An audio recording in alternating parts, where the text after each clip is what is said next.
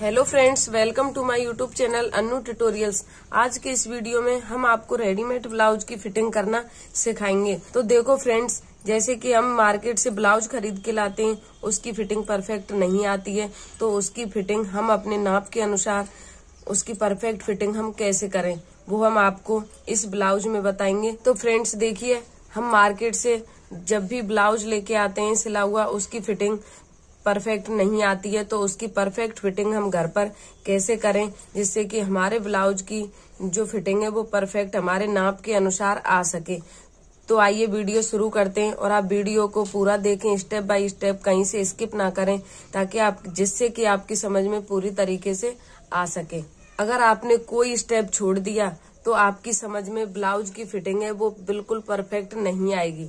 तो देखो, सबसे पहले हम इस ब्लाउज को उल्टा करते हैं। उसके बाद का जो बॉडी का मेज़रमेंट है, उसका निशान लगाएँगे। उसके हिसाब से हम इसकी फिटिंग करेंगे।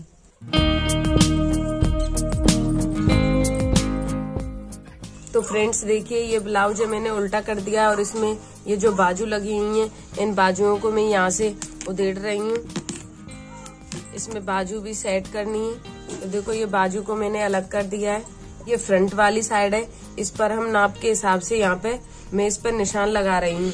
तो फ्रेंड्स देखिए, इस ब्लाउज में जो सिलाई लगी हुई है, ये 38 इंच के ब्लाउज की सिलाई है और इसको हमें 35 इंच का ब्लाउज बना के परफेक्ट करना है। तो देखो, यहाँ पे दोनों साइड से पौन पौन इंच पर निशान लगाना है। तो देखो, यहाँ पे मैं निशान लगा रही हूँ और उसी के हिसाब से इस पे सिलाई लगानी है।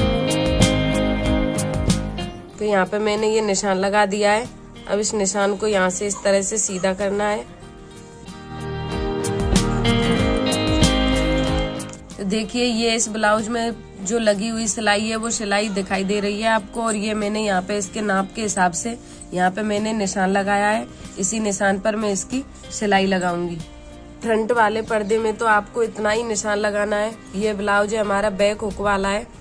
तो देखो फिर आपको ब्लाउज को उल्टा करके यहाँ पे इसकी पेटी है, उसका नाप लेना है। इसकी पेटी हमें कंप्लीट करनी है तीस इंच की। और इसकी पेटी है, देखो इस, ये, इस ब्लाउज में इसकी पेटी चौतीस इंच की है। तो इसमें से भी हमें दो इंच घटाना है। तो ये तीस इंच की करनी है। दोनों साइड में यहाँ पे हम इसमें चुन्नट लगा देंगे एक एक इंच की।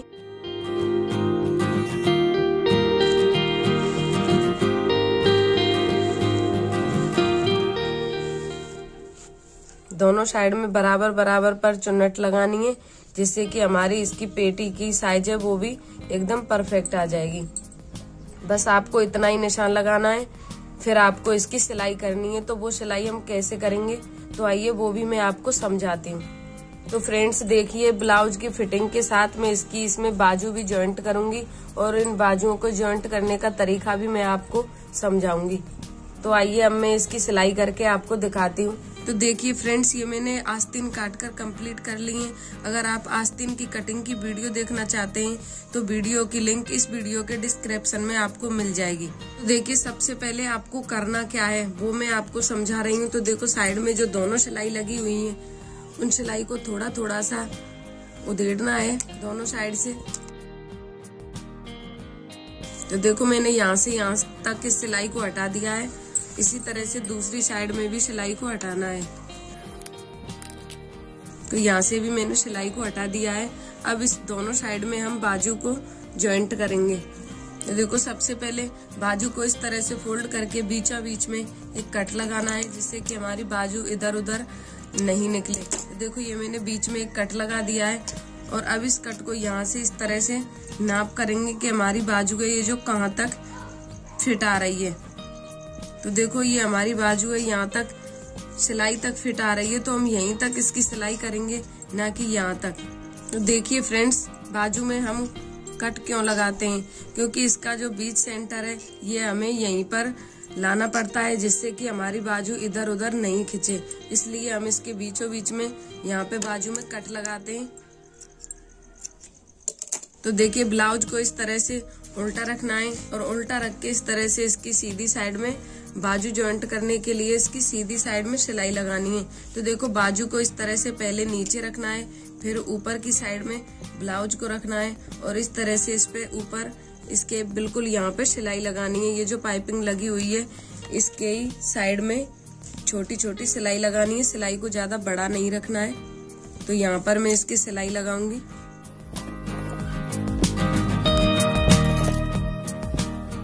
बाजू में मैं अंदर की साइड में आधा इंच का मार्जिन रख रही हूँ।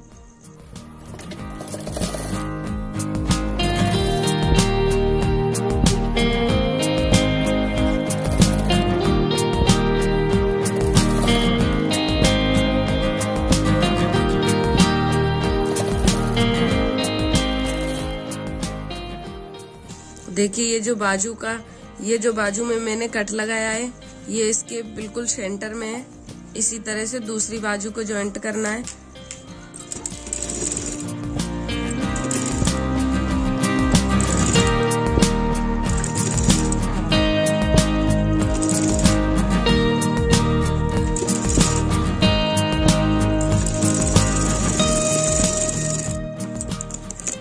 तो देखिए फ्रेंड्स ये मेरी एक बाजू लगकर कंप्लीट हो गई है। इसी तरह से दूसरी बाजू को भी दूसरी साइड में ज्वाइंट करना है।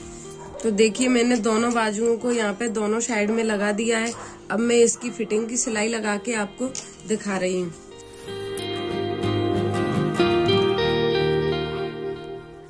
यहाँ पे ये जो हमने फिटिंग का निशान लगाया है इसी निशान के ऊपर सिलाई लगानी है।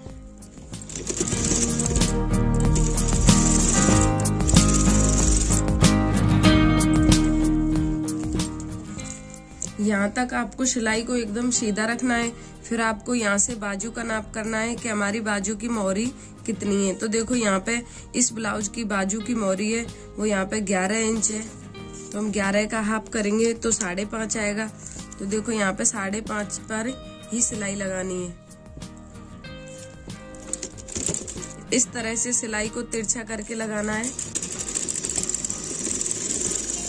ये जो मेरी फिटिंग वाली सिलाई है, वो लगकर तैयार हो गई है। इसी तरह से दूसरी साइड में भी इसी तरीका से सिलाई लगानी है। देखिए, ये ब्लाउज है जो हमें 35 इंच का बनाकर तैयार करना था। तो देखो, यहाँ पे इसकी सिलाई एकदम परफेक्ट लगी है।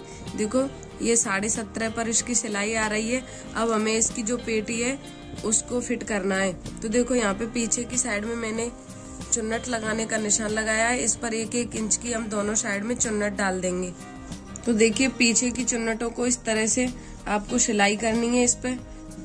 नीचे की साइड से थोड़ा ज़्यादा लेना है और ऊपर की साइड से एकदम बराबर रखना है। अब मैं इसकी जो चुन्नट है वो लगा रही हूँ।